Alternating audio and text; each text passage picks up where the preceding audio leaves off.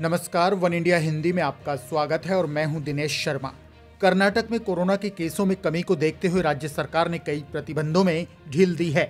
कर्नाटक सरकार ने 31 जनवरी से नाइट कर्फ्यू को खत्म करने का फैसला किया है। साथ ही बेंगलुरु में सोमवार से सभी स्कूल फिर से खोलने के लिए इजाज़त दे दी गई है। शिक्षा विभाग को स्कूलों में कोविड प्रोटोकॉल के पूरी तरह से पालन करने के निर्देश दिए गए हैं। राज्य सरकार ने कोरोना से संक्रमित मरीजों की अस्पताल में भर्ती संख्या कम होने पर यह ढील दी है। राज्य सरकार ने अपने आदेशों में कहा है कि सोमवार से नाइट कर्फ्यू हटेगा और स्कूल कॉलेज भी खुलेंगे। राज्य के शिक्षा मंत्री बीसी नागेश ने स्कूल कॉलेज खोलने को लेकर कहा कि इस दौरान कोविड प्रोटोकॉल का सख्ती से पालन किया जाएगा।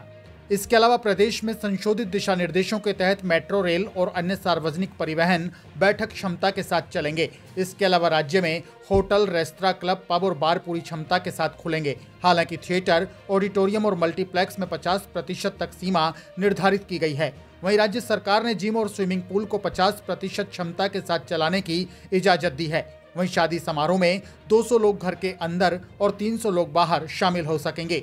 इसके अलावा राज्य सरकार ने धार्मिक स्थलों को 50 प्रतिशत क्षमता के साथ खोलने की अनुमति दी है। आपको बता दें कि कर्नाटक में शुक्रवार को कोरोना के इकतीस नए मामले सामने आए थे, जो गुरुवार की तुलना में करीब सात हज़ार केस कम हैं। इनमें से करीब 50 फ़ीसदी केस बेंगलुरु में दर्ज किए गए थे। राज्य में एक दिन पहले ही कोरोना से 50 लोगों की मौत हुई थी। इनमें से आठ मरीज़ बेंगलुरु के थे। वहीं प्रदेश में पिछले 24 घंटे में इकहत्तर हज़ार बानवे लोग कोरोना से ठीक हुए हैं। इस खबर में फ़िलहाल के लिए इतना ही। ताज़ा अपडेट्स के लिए आप बने रहिए वन इंडिया हिंदी के साथ।